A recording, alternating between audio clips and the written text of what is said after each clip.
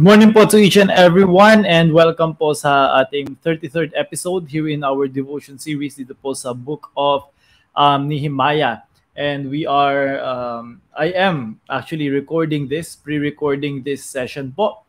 Uh, this session and also Friday session I will be pre-recording dahil po dito sa Cambodia we have a holiday. Ang tawag po dito ay Water Festival and um, uh, would like to take this time as well to uh, have more rest uh, pagdating po sa um, umaga and also more time with uh, to spend with my family. So I'm just uh, going to record two straight uh, sessions po and then we'll schedule this uh, to go live sa oras po ng ating devotion. Ngayon po sa episode 33 na ito, we are going to be uh, finishing uh, chapter number 9 because um, pwede po nating, uh, this is, uh, may kita po natin from verse number 22 to 31, ito po yung uh, dinidescribe ng Israel sa Panginoon yung cycle ng kanilang mga fathers. Alam naman po natin yung cycle ng Israel. And they described a few of the um, mga uh, they described a few of the events during that cycle.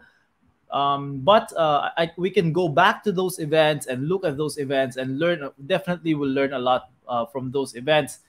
But um, I'd rather na hindi na po, will not go away from Nehemiah uh, for this devotion series po. And I will try to be speaking more in English because we have a few requests na mas madami pong English so that they'll be able to tune in as well and understand what's happening. One of our Bible students or our only Bible student is uh, requesting that po so that he will be able to understand more of our devotion.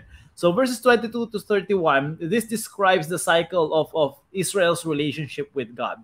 And we all know this. Uh, you and I, we are not ignorant of this cycle. Um, lagi po ito binibigay sa atin as an example of uh, being stiff-necked or hard-headed, yung pong mga ganyan, uh, napakatigas ng ulo ng mga Israelites na ito. So uh, all of these things, the Lord will bless them. They will enjoy the blessing. And after that, magi they will become complacent and then they will disobey. Tapos diyan, papansya, pa, uh, paparusahan sila ng Panginoon. They will get conquered. And then once they realize na, that they need God, they will cry unto the Lord, Lord, please save us. And then, of course, the Lord rescues them, uses people to rescue them in the time of the judges. Ganyan yung ginawa niya.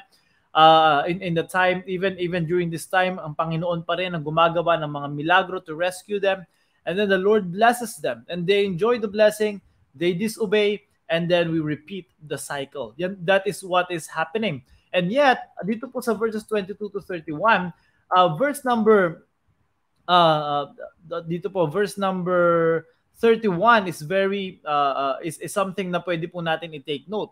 Hap, tapos po nila describe yung cycle, describe yung cycle. Sabi sa verse 31, nevertheless, for thy great mercy's sake, thou didst not utterly consume them, nor forsake them, for thou art a gracious and merciful God. And that is our God. Even though Israel uh, is in this cycle of obedience, disobedience, obedience, and disobedience, the Lord still did not utterly consume them. Ibig sabihin, hindi pa rin sila inubos ng Panginoon.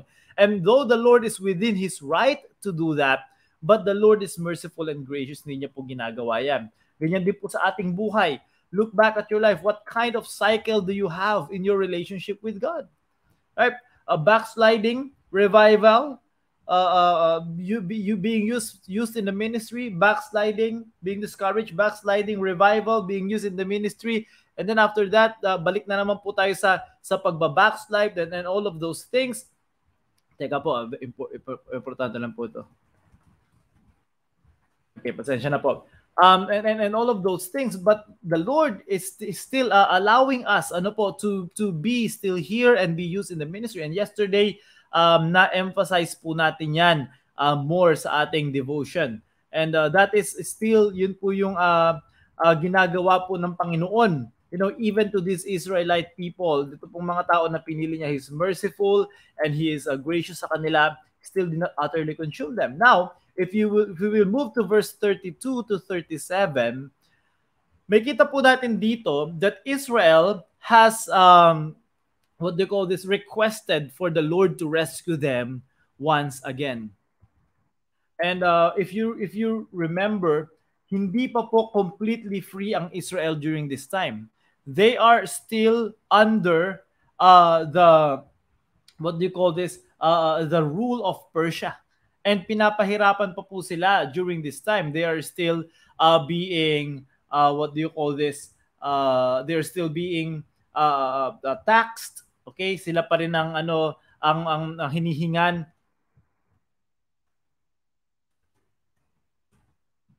sila pa rin ay, ay pinapa, pinapahirapan, sila pa rin ay hinihingan ng ng uh, ng ng malaking tax, yung buwis pataas ng pataas. So after they describe, Lord, this is our fathers, ganito yung ginagawa nila. But Lord, we are asking you once again, please rescue us. This time, Lord, please rescue us again. We need you to rescue us from these people. And that is what they are asking uh, sa Panginoon. And that what that that that is what they are pleading sa sa sa Panginoon during this time. And uh, in their confession, there's something here that is very uh, dito po sa verses number 32 to 37, meron po ditong napaka-interesting na sinabi nila na, na dapat part din po ng, ng ating prayer at confession sa Panginoon. Uh, hinahanap ko lang uh, uh, although hindi ko makita right now. Pero basically, ang sinabi nila, Lord, we realize and we admit, Panginoon, na tama ka, you are right, and we are wrong. You are right. Again, I will repeat that you are right, and we are wrong. So, what, what we get from this is that in the beginning of our Christian life, tayo po, nung po tayo ay nagrepent, nung po tayo ay naligtas, niligtas ng Panginoon, we started with admitting to the Lord, Lord, you are right, we are wrong.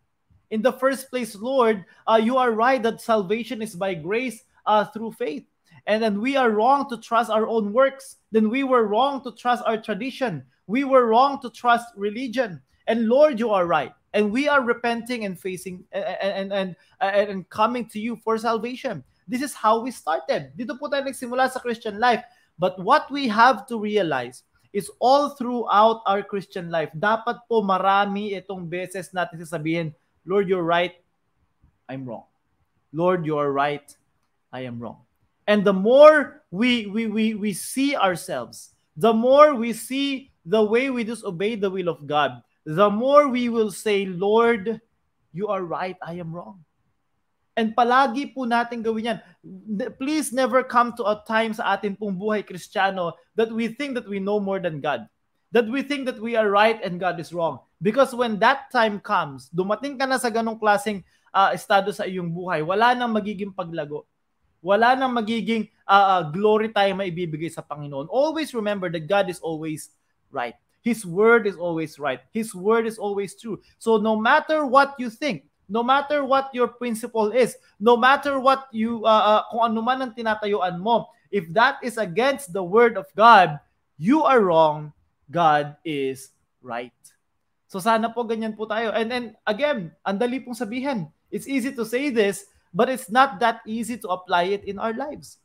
Hindi po ganun kadalang i-apply. Why? Dahil many times as we read the Bible, as we study the Bible, as we listen to preaching, our will is always, makikita po natin, is always uh, against the will of God. And when that happens, okay, na ang naglalaban na yung gusto ko at gusto ng Diyos, madali po sabihin na, o oh, sige Panginoon yung sa'yo, pero mahirap pong gawin. Why? Because what we want is something that will be, we know, we think, that will be good for us, good for our family, practical, something that will help you in the future. That's what I want. And Lord, it's not wrong. It's not it's not bad. But what you're saying is something na hindi ko maintindihan. Is something na hindi hindi ko makita yung sarili ko na to agree with what you're saying. But remember who we are talking to. We're talking to the creator of, the universe. We're talking to the supplier of our needs. We're talking to the Almighty God. And it's impossible for Him to be wrong and for you to be right. So, always, when there's that conflict, always utter these words Lord, tama ka, I am wrong and I'm going to agree with you. Verse number 38, the last verse of this chapter. And because of all this, okay, because of all the realizations starting from chapter 8 and chapter and, and now here at the end of chapter 9, Lord, because of all this, because we realize that our fathers were in this cycle, because we realize how important your word is, because we realize how sinful we are, because we realize all of these things na natin the past week, because of all this, we make a sure covenant and write it, and our princes, Levites, and priests seal unto it.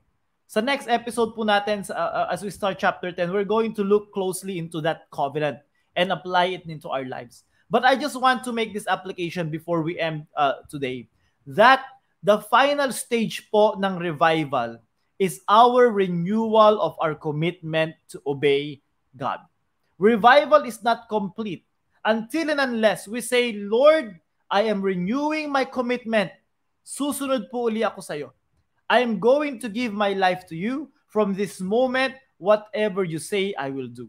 That should be the final stage of revival. Because if if ito mga Israelites na ito, marami silang na-realize sa kanilang buhay, uh, marami silang pinarealize sa Panginoon, but at the end of it, kalimutan na lang, uh, bayaan na lang, then it's all a waste of time. But because of all of these realizations and because they see their situation, we still need God to rescue us. Lord, we're going to make a sure covenant. And bukas titignan po natin yung importansya ng covenant na ito and how we can do that to our Lord as well. Now, as we end this chapter, I just want to challenge you. I hope that itong realization of the Israelites will be your realization as well. Do we think uh, uh, just just a few questions po to steer your mind? Do you sometimes think that you are better than what you really are? Diba?